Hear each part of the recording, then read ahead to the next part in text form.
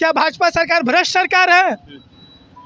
भ्रष्ट जुमलाबाजी का सरकार है? में चार साल से हम लोग काम कर रहे थे लेकिन पिछले माह एक तो सम्राट चौधरी ने डंटा से पिटवाया। अब बीजेपी के माननीय मंत्री जो जो दिलीप जायसवाल दो महीने डार्क में रखे हैं। बिहार में पाँच सौ चौतीस अंचल में दो बट्टा उन्नीस विज्ञापन से जो अमीन है उनको उनको पंद्रह छः दो हज़ार चौबीस से अगले आदेश तक कार्य नहीं लिया जाएगा। यहाँ प्रत्यक्ष रूप में है नहीं। यहाँ बेरोजगार मतलब नीतीश कुमार। चल कि माननीय मंत्री जी हम लोग को झूठा आश्वासन दिए थे। कि जो सीट खाली उसमें आप लोग को समायोजन करेंगे। नमस्कार मैं मनीष और आप देख रहे हैं मीडिया दर्शक। 2019 में अमीन लोगों की बहाली आई। उसके बाद ये सभी अमीन जो है सेलेक्ट हुए।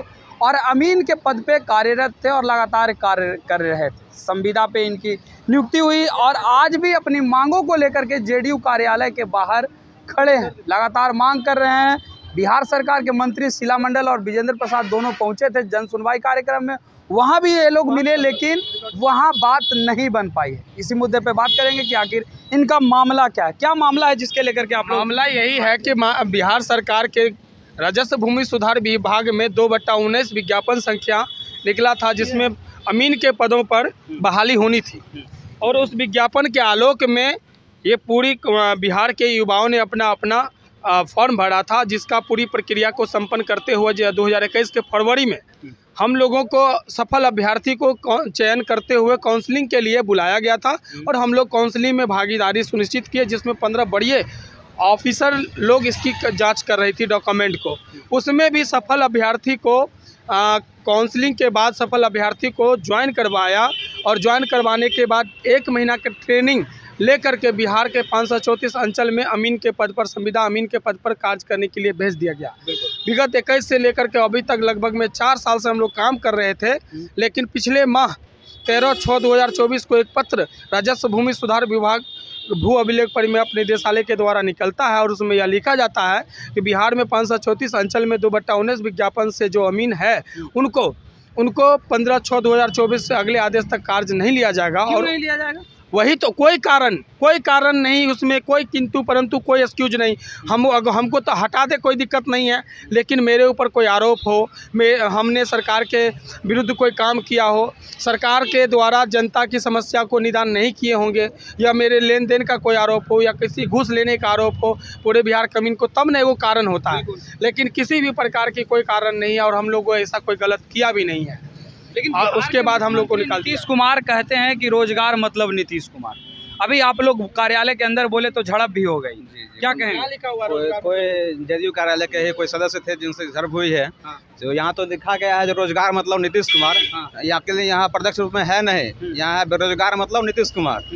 तो कोई राजस्व विभाग का जो एक डायरेक्टर साहब हैं जिनका नाम है जय सिंह जो विगत आठ से दस वर्षों से अपने पोस्ट पे एक ही पोस्ट पे एक ही जगह अपने कार्यरत हैं वो। और उनका एक लेटर निकलता है उनके सिग्नेचर से तेरह छः दो हज़ार चौबीस को जो पंद्रह छः चौबीस से अगले अगले आदेश तक अंचल अमीन से कोई कार्य नहीं लिया जाएगा। अरे भैया नहीं लिया जाएगा तो कारण बताइएगा ना जो कारण क्या है? बिना कोई कारण का एक लेटर निकालते हैं और उस दिन से हम लोग विभागीय मंत्री हो या अन्य कोई भी मंत्री हो या विपक्ष के नेता हो हर एक जगह हम लोग जाया करते हैं लेकिन कोई सुनने के लिए तैयार नहीं है। कुछ दिन पहले सम्राट चौधरी के यहाँ भी हम लोग गए थे वहाँ पे लाठी चार्ज करके हम लोग को भगा दिया गया।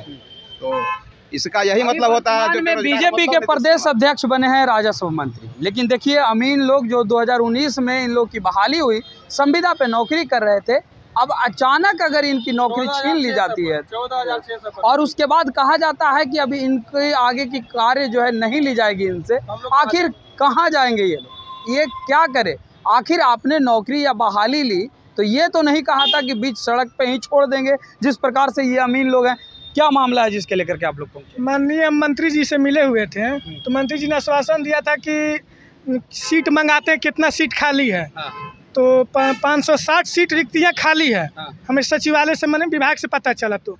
आज हमें ये पता चल रहा है कि माननीय मंत्री जी हम लोग को झूठा आश्वासन दिए थे कि जो सीट खाली है उसमें आप लोग को समायोजन करेंगे। हाँ। मगर माननीय हमको पता चला है कि वो जो 560 सीट का जो है वेटिंग लिस्ट का के लिए मंगाया गया वेटिंग लिस्ट वाला के ले, ले, लेने जा रहे हैं।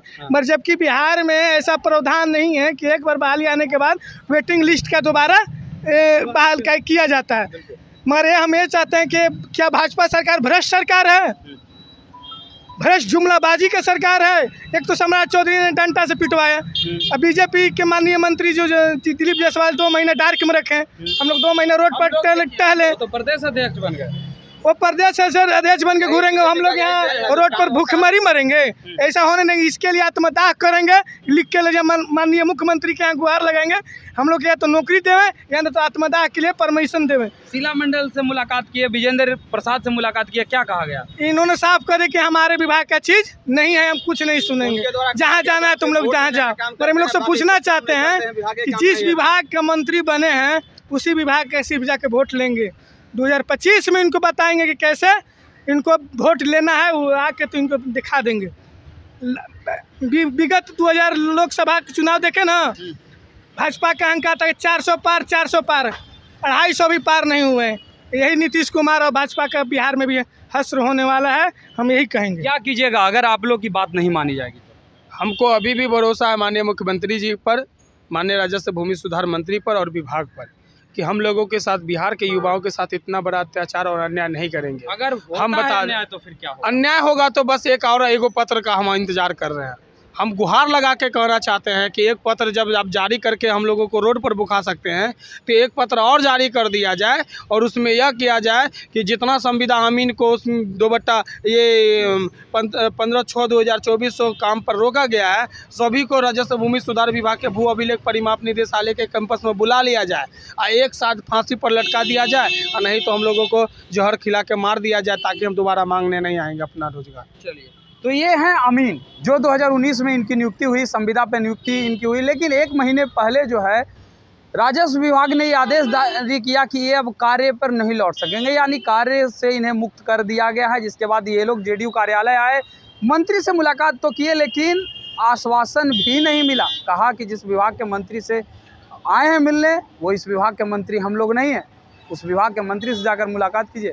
लाल इस खबर में इतना ही, देखते रहे मीडिया दर्शन, धन्यवाद।